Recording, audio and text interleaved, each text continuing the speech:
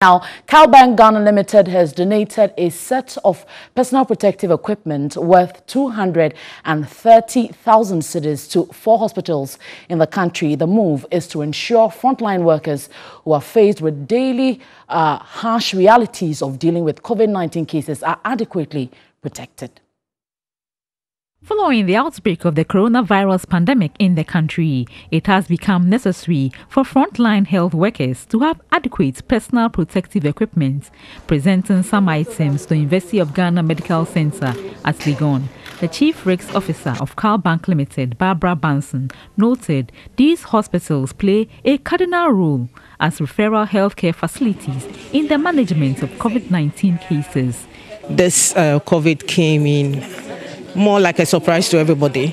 And um, being um, a responsible organization and the responsible staff of the bank, we believe that if we come together to contribute to help in the fight, it will be good. In total, we have about 230,000 Ghana cedis that we contributed staff, senior management, and then, then the board members.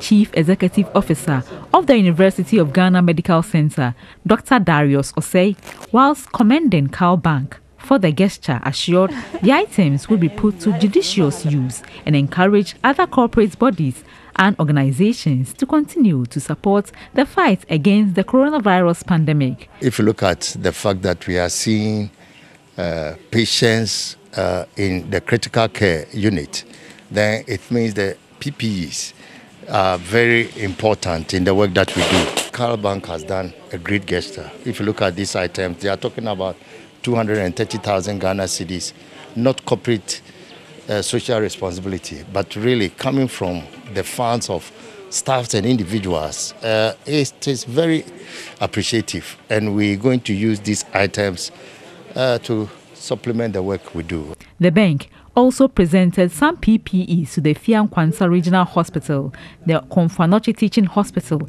and the Tamale Teaching Hospital. Management of the bank also entreated the public to observe the hygiene protocols to contain the spread of the disease.